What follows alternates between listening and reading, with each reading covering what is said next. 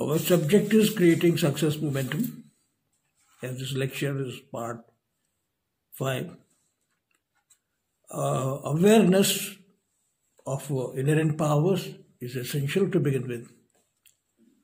Once we remember our inherent faculties, then alone we can progress in life. Our inherent faculties are infinite. Mind being the faculty of consciousness, it has all those faculties which the consciousness has. And the ultimate consciousness, the infinity, is all knowledge, all power, and all presence. And hence the mind has the same properties. Only we have to be aware of it. So, with our awareness about our infinite possibilities, infinite capacities of the mind, and being aware that our mind functions at conscious level, subconscious level, supraconscious level, and metaconscious level, we are able to progress in life. And we should be enthusiastic to create a success consciousness. E and N, N means in. T H U S, Theos, Theos means God in Greek.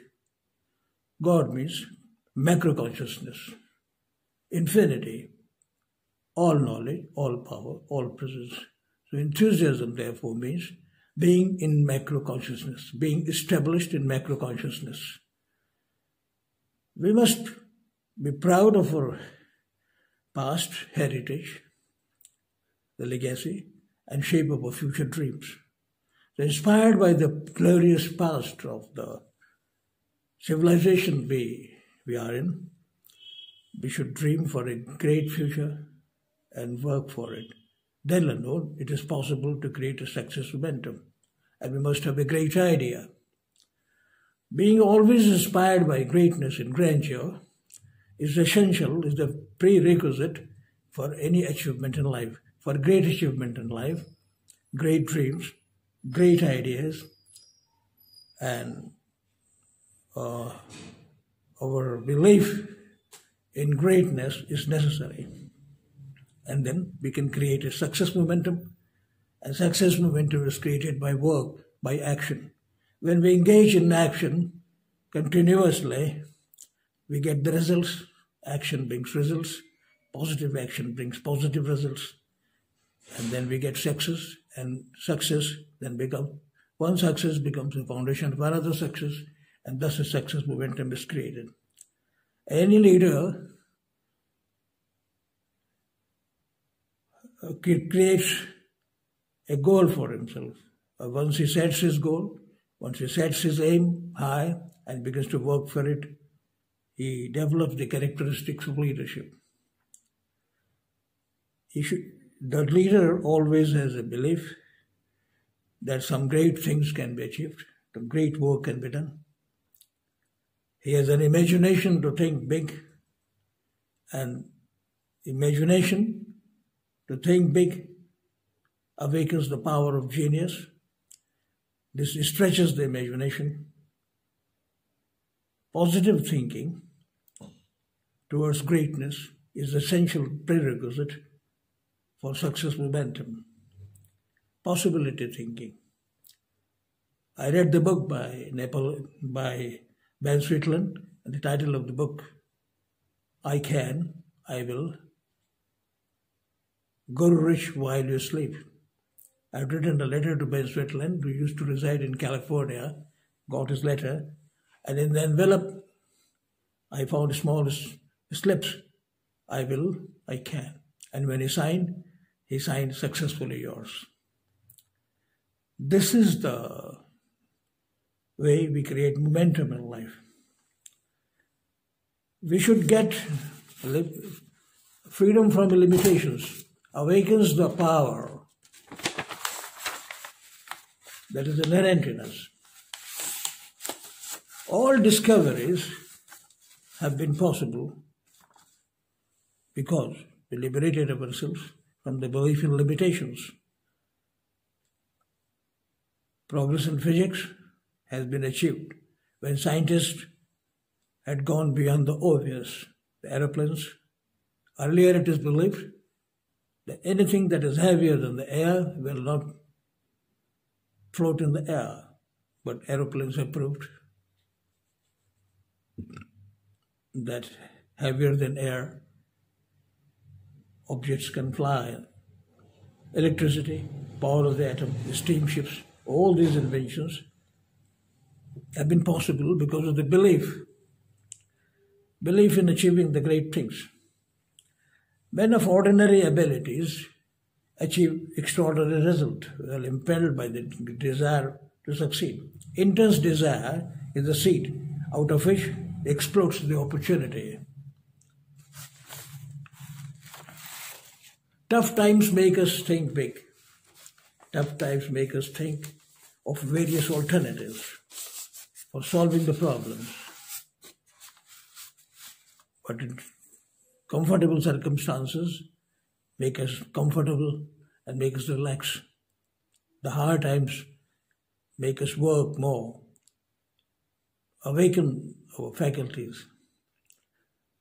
So we should be able to be enthusiastic and dare to succeed, aim high, and take the initiative.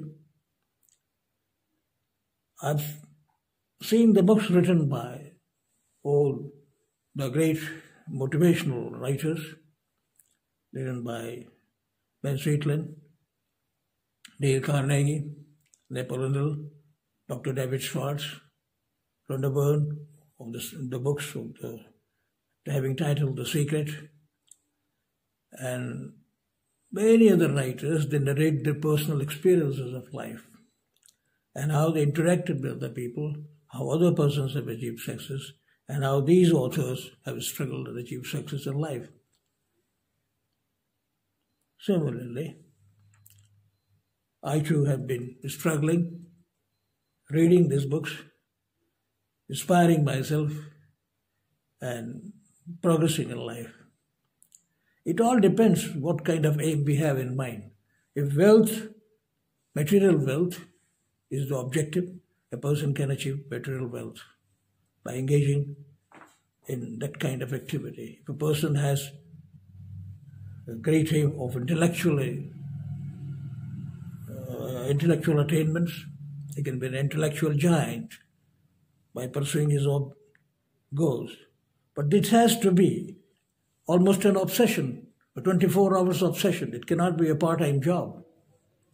We want to be intellectually great or materially great in financial resources.